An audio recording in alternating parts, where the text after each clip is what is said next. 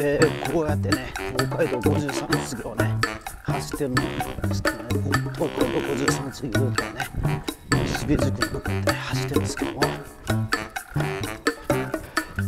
まだなかなか JR との並走区間がまだ見えませんね。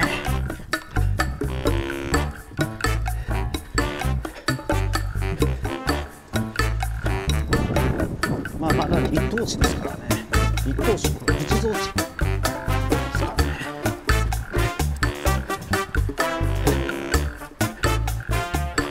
まあここら辺は夜になってもな家並みがありますからねまだ集落があるから。まだいいんですけど。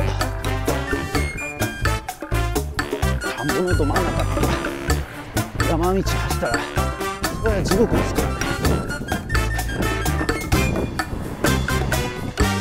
ね明るうちに高速中央でつければいいなといやつかないといけないですね。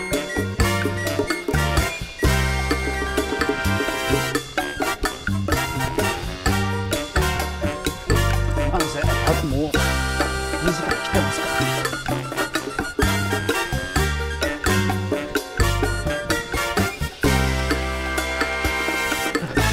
少しずつありますけどね。JR 草津線との冷蔵庫に入ろうと思っていますこ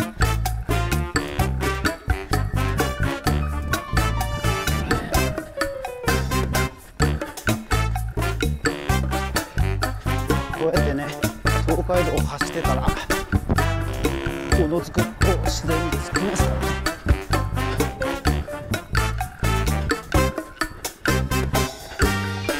の区間森脇健二さん。岡田歩さん。西田さん。元木咲さん。という人が走るルートなん。ですねテレビでねまた別の区間で特訓やってた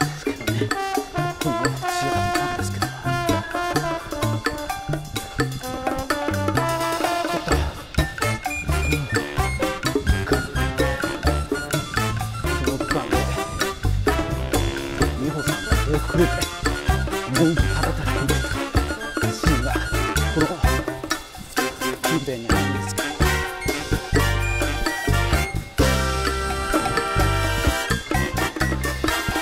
あこれがもう学校始まりなのかなってテレビ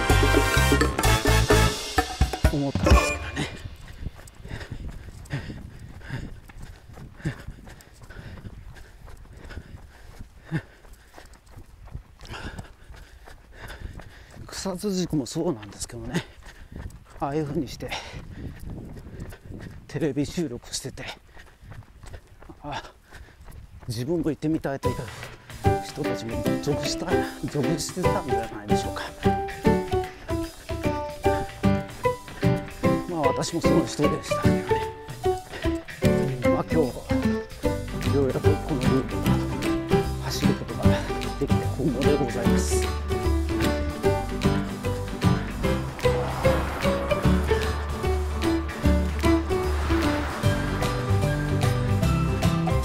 15分前にもこうやってね走ってたんでしょうねあのベリーさん。でちょっと休んで特訓の動きまして。でまた走るシーンですか。それを撮って次の宿を行ってね制覇したよって言ってたんですけど、ね、まあ、実はちゃんとヨニーさんちゃんと走ってそう走りましたからね全部。メンバー変えてね。あのテレビもね私たちの地域ではつい最近まであのやってたんですけどね。やっぱこういうの見たらやっぱ走りたくなりますよ。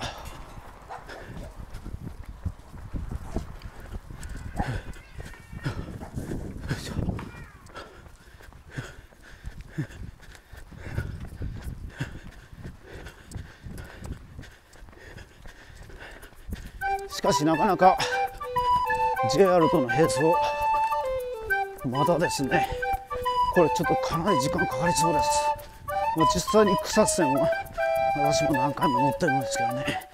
やっぱ石部手原の間手原石部の間結構距離あるんですよね。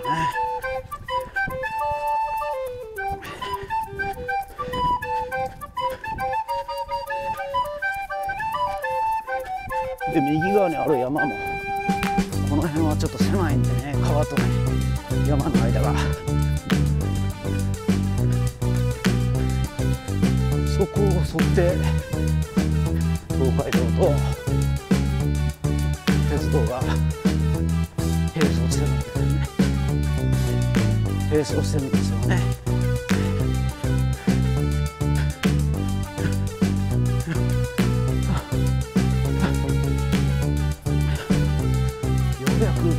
らいかな今まだ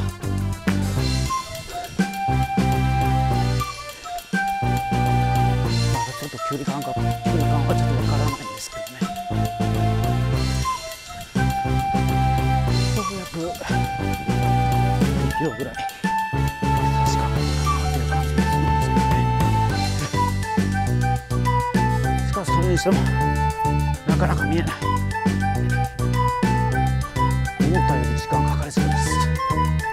大体並走区間が1キロ以上ありますからね、まあ、並走区間終わったら石部駅が見えてきます石部駅通過したら残り500メートルぐらいなのかと思います次の石部駅まではね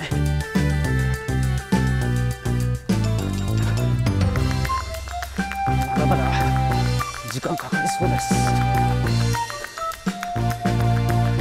先ほど。並走区間足したらまた撮影しますと言いましたけどこうやってすぐに帰ってあの撮影したことがちょっとお詫びいたします。それでは今度こそ JR の並走区間入りましたらまた再び撮影していきたいと思います。